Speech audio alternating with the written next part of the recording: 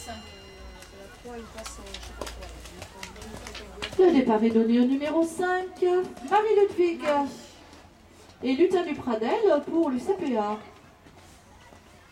Pour la cavalière précédente, il y avait un peu de temps dépassé dans la première partie, étant donné euh, deux, deux refus, donc évidemment c'est tout à fait normal. Donc on a un total final de 9,50.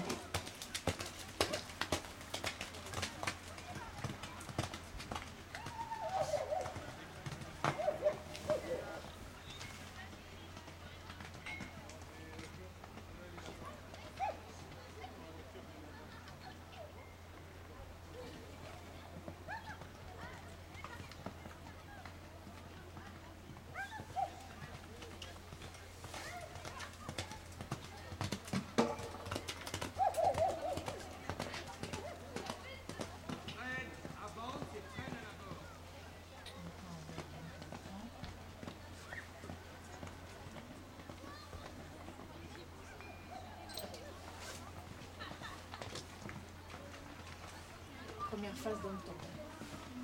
Oui, bah, tant qu'il n'y a pas de refus. hein.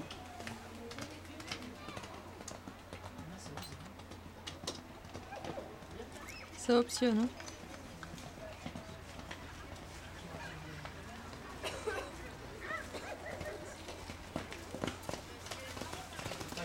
Super